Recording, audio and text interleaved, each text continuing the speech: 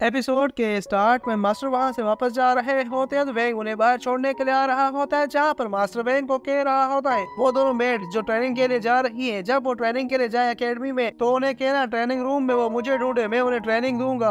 और एक और बात मेरी याद रखना, जो मैंने मिस्टिकल कार्ड एक्टिवेट करने का बिचैन को कार्ड दिया है, जब उसे टच करने पे वो धमाका करे तो उसका मतलब ये होता है की मिस्टीरियल वेपन जो है अपनी स्टैंडर्ड लिमिट पर आ गया है, अब उसे एक्टिवेट करने का वक्त हो गया है। और इसका मतलब ये होता है कि तब तुम अपने एट्रीब्यूट्स को जगा सकते हो। हमेशा ही इस तरह बात को याद रखा करो और लिन बिचेन जितना भी मना करे, लेकिन उसे याद दिलाना की मैंने तुम्हें क्या कहा है, उसकी कोई भी बात मत मानना। तो ठीक है, अब मैं यहाँ से जाता हूँ कल मुझे यहाँ से शहर से बाहर जाना होगा। तो वह कह रहा हो तो मास्टर फ़िक्र मत करे, सारे काम मैं कर दूँगा। जो आपने मुझे ऑर्डर दिया है, वो काम मैं ज़रूर करूँगा। ये कहकर मास्टर वहाँ से जा रहा होता है, तभी हम देखते हैं, वैंग जैसे पीछे मुड़कर देखता है तो लिन बिचेन को बहुत ज़्यादा खांसी हो रही होती है और कह रहा होता है, मास्टर ने तो ये सारा कुछ मुझे ट्रैप करने के लिए सेट किया है। फिर जब चैन कह रहा था, चलो इन बातों को छोड़ो, मुझे और कई सारे इम्पोर्टेंट काम है जो मुझे करने हैं। तब अपना सिस्टम को एक्टिवेट कर लेता है और वहाँ पर कुछ कर रहा होता है। लेकिन वो काम उससे नहीं हो रहा होता तो सिस्टम उसे कह रहा होता है, ये करना बंद कर दो। तो बिचैन कह रहा होता है, ये गोल्ड कॉइन कॉपी क्यों नहीं हो रहे हैं? वो कॉपी करने की बार बार कोशिश कर रहा होता है तो वेग उसे देख कर हैरान हो रहा होता है, ये क्या कर रहा है? वो कह रहा होता है कि लगता है मास्टर फिर से बीमार हो गए क्यूँकी उसे वहाँ पर सिस्टम नज़र नहीं आ रहा होता है। बैंक को ऐसा लग रहा होता है की मास्टर पागल हो गए हैं। बैंक तो परेशान हो जाता रो रहा होता और कह रहा होता है, वो सब लोग तो टेंपल में जाने वाले हैं ताकि अपने मिस्टीरियस वेपन को अवेकिन कर सको। लेकिन हमारे मास्टर को तो देखो, वो तो पागल हो गया है। वो कैसे अपनी एनर्जी को अवेकिन कर पाएगा? जिसके बाद हम देखते हैं, सुबह से रात हो गई होती है, लेकिन निर्विचेन वहीं पर लगा हुआ होता है कि गोल्ड कॉइन को कॉपी करके मल्टीपल कॉइन्स में कन्वर्ट कर सके। तभी सिस्टम भी उसे वार्निंग दे रहा होता और कह रहा होता है, ऐसा मत करो, ये चीज़ नहीं होने वाली है।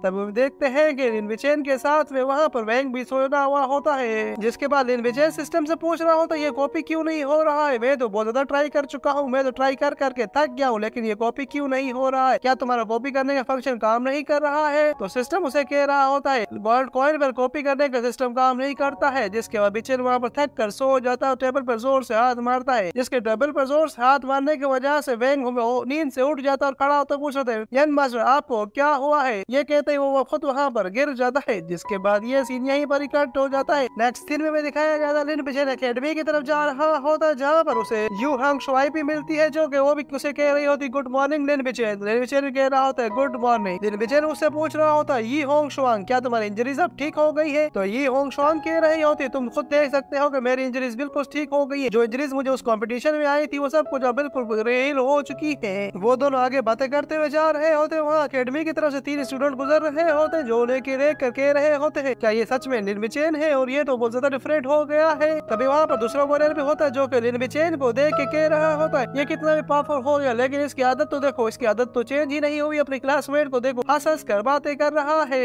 जिसके बाद वहाँ पर तीसरी फीमेल वॉरियर होती है जो उसे कह रही होती है, लेकिन वो हमसे बहुत ज़्यादा स्ट्रॉन्ग हो गए है। अब हमें निर्विचेन को दिखाया जाता है जो की होंगशांग से पूछ रहा होता है, क्या तुम्हारे यहाँ पर ब्रदर और सिस्टर फैमिली में कोई और है, या सिर्फ़ तुम अकेली ही सिंगल चाइल्ड हो? तो यू होंगशान कह रही होती नहीं, हम लोग तो छह बहन ब्रोदर है, हम लोग पाँच बहने और हमारा एक भाई है। तो निर्विचेन मन में कह रहा होता है इसकी माँ ने तो बहुत ज़्यादा बर्थ कर दिए है। अब वो पूछ रहा होता है कि होंगशान क्या तुम्हारे ब्रदर का नाम यू होंगशी है? तो यू होंगशान कह रही होती है, तुम्हें कैसे पता चला? तो निर्विचेन कह रहा होता, मैं एक बार एक होटल में गया था तो वहाँ पर मुझे एक वेटर मिला था, जो की बहुत ही ज़्यादा सिंपल था, जिसका नाम यू हैंगशाह था। तो जिससे मुझे अंदाज़ा हुआ की तुम्हारा वो भाई है, क्यूँकी दोनों का नेम एक जैसा है। तो यू होंगशान कह रही होती है, बिल्कुल, वो मेरा भाई है और हम लोगों की हालत बहुत ज़्यादा खराब है, हमारे घर को चलाने के लिए हमें काम करना पड़ता है और हमें लोगों को अकेडमी की सपोर्ट के लिए हमारा भाई वहाँ पर काम करता है क्योंकि हम लोग बहुत ज़्यादा गरीब है। हमें रहने के लिए, ज़िंदा रहने के लिए काम करना पड़ता है। और मुझे माफ़ कर दो, हमारे घर की बातें सुन के तुम्हें कुछ बोरिंग महसूस हो रहा होगा। तो लेकिन बेचैन कह रहा हो तो नहीं, यहाँ पर कई सारे ऐसे लोग हैं जो ज़िंदा रहते हैं और खाते पीते और सोते हैं। लेकिन तुम लोग हो जो अपनी फैमिली के लिए बहुत ज़्यादा मेहनत करते हो और अपने लिए मेहनत करते हो, मुझे तुम लोगों पर बहुत ज़्यादा फखर हो रहा है।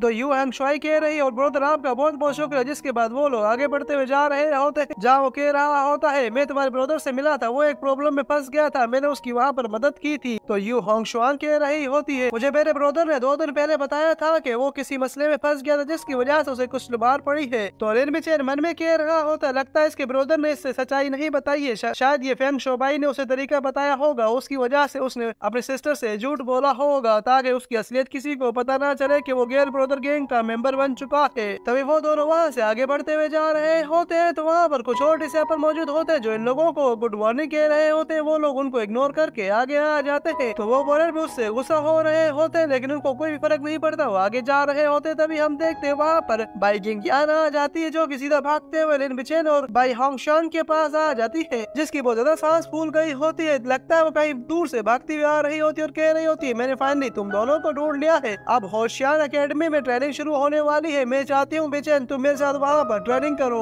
तो लिन बेचैन उसकी एक्टिंग करते हुए कह रहा होता, नहीं, मैं तुम्हारे साथ ट्रेनिंग नहीं कर सकता हूँ, क्योंकि मुझे तुम्हारे साथ ट्रेनिंग करने में कोई इंटरेस्ट नहीं है। तो भाई गिंग्यान कह रही होती लिन बेचैन, अगर तुम्हें मैं कोई ऑफ़र दूँ तो फिर तुम मेरे साथ क्या ट्रेनिंग कर सकते हो? हाँ तुम मुझे बिल्कुल रिजेक्ट नहीं करोगे। क्या ऐसा होगा अगर मैं तुम्हें ट्रेनिंग करने के बीस सिल्वर कॉइन दूँगी? तो लिन बेचैन कह रहा होता हाँ ये चीज़ अच्छी है, अगर तुम इस तरह करोगी तो मेरा बहुत ज़्यादा फ़ायदा हो जाएगा। तो भाई गिंग्यान कह रही होती, मैं जानती थी तुम पैसों के लिए कुछ भी कर सकते हो। लेकिन लिन बेचैन कह रहा होता, लेकिन इस बार मैं तुम्हारे साथ फिर भी नहीं चलूँगा तुम किसी और को ढूंढ लो। तो भाई गिंग्यान कह रही होती क्या? तुम पैसों को भी मना कर रहे हो। ऐसा तो नहीं हो सकता। क्या वजह है? तभी पीछे पीछे उसे इशारा करता है। जो पीछे मुड़ती है, पीछे मास्टर चू खड़ा हुआ होता जिसको देख कर पूछ रही होती, मास्टर, यहाँ पर क्या कर रहे हैं? तो मास्टर चू आन कह रहा होता लिन विजय मेरे साथ टेंपल जाएगा। उसे वहाँ पर जाकर उसका मिस्टीरियस वेपन को जगाना होगा। और तुम्हारा लेवल इतना अपग्रेड नहीं हुआ है की तुम अपने मिस्टीरियस वेपन को जगा सको। इसलिए तुम्हें अब यहीं पर रहना होगा। तुम हमारे साथ नहीं चल सकती हो। जिसके बाद विजय उन दोनों को गुड बाय कहकर मास्टर चूहान के पास आ जाता है। जिसके बाद सीन शिफ्ट हो जाता है, वो दोनों बिहाई एम्पायर में आ जाते हैं, जहाँ मास्टर चूहान उसे बता रहा होता है। बिहाई एम्पायर में जो लॉर्ड है, वो स्वाड लॉर्ड कहलाता है और कई सारे स्वाड मैनशिप जो है, वो यहाँ से निकले, इसलिए इस सिटी को एम्पायर ऑफ़ द स्वाड कहा जाता है। और मास्टर चूहान इन बिचैन को एडवाइस दे रहा होता है यहाँ पर कोई भी बकवास मत करना और ना ही कोई ऐसी बात करना जिससे वो गोड नाराज़ हो जाए। अब लिन बिचैन मन में कह रहा होता है, मैं तो यहाँ आना ही नहीं चाहता था, ये तो मास्टर मुझे यहाँ लेकर आए हैं और मास्टर मेरे मिस्टीरियस वेपन को अवेकन करना चाहते हैं, तभी हम देखते हैं कि टेंपल का गेट खुल जाता है और वो दोनों टेंपल के अंदर आ जाते हैं, जहाँ हम देखते हैं कि टेंपल की लॉर्ड खुद उन दोनों को वेलकम करने के लिए आई होती है, जिसका नाम लॉर्ड किन होता है, जो उनको वेलकम कर रही होती है और कह रही होती लॉर्ड लिन को देखने के बाद लिन बिचैन कह रहा होता, ये लॉर्ड लिन तो बिल्कुल लिंग चैन की तरह मुझे लग रही है। जिसके बाद उन्हें लॉर्ड किन उन्हें लॉर्ड ऑफ़ स्वाड स्टेचू के पास लेकर आ जाती है और कह रही होती है, तुम दोनों इस स्टेचू के सामने झुक जाओ और अपनी एक सेक्रीफाइस के तौर पर कोई कीमती चीज़ उसे बेच चढ़ा दो। लिन बिचैन स्टेचू को देख के कह रहा होता है, क्या लॉर्ड ऑफ़ स्वाड एक गॉडेस है? और लिन बिचैन नोटिस करता है की उस टेंपल के अंदर जितने भी प्रिस्ट होते हैं, वो सब लोग फीमेल वॉरियर्स होती है। जिसके बाद वो दोनों लॉर्ड ऑफ़ स्वाड के सामने झुक जाते हैं तो मास्टर चौहान कह रहा होता है सिंसियर मास्टर आपका बहुत बहुत शुक्रिया, क्यूँकी आपने हमारे पूरे नॉर्थ सी की प्रोटेक्शन की है। और लिन बिचैन को कह रहे होते हैं तो बिल्कुल ध्यान से देखना, यहाँ पर तुम्हें कोई मैजिकल चीज़ फील ज़रूर होगी। तभी बिचैन मन में कह रहा हो तो मास्टर, आपको पता ही नहीं है कि लड़कियाँ कैसी होती है। वो यही लड़की थी जिसने मुझे यहाँ पर इस दुनिया में ट्रैप किया है। मुझे तो अब इन लड़कियों पर भरोसा ही नहीं होता है। तभी हम देखते हैं, मास्टर चौहान अपना सेक्रीफाइस के तौर पर एक ब्लू स्टोन निकालते हैं और वहाँ पर एक थाली पे रख देते हैं, जिसके बाद वो बिचैन को भी कह रहे होते हैं। तो हम देखते हैं की बिचैन वहाँ पर कई सारे गोल्ड कॉइन निकालता है। तो मास्टर से कह रहे होते इसे वापस लो। और क्या तुम्हारे पास कोई कीमती क्रिस्टल नहीं है? उसे भेद चढ़ाओ। तभी हम देखते हैं, वहाँ पर सिस्टम की उसे आवाज़ आ रही होती है एक तुम्हारे पास न्यू फ्रेंड रिक्वेस्ट आई है। तो इसी शेर के साथ ये एपिसोड यहीं पर एंड हो जाता है। तो मिलते हैं नेक्स्ट एपिसोड में थैंक्स फॉर वॉचिंग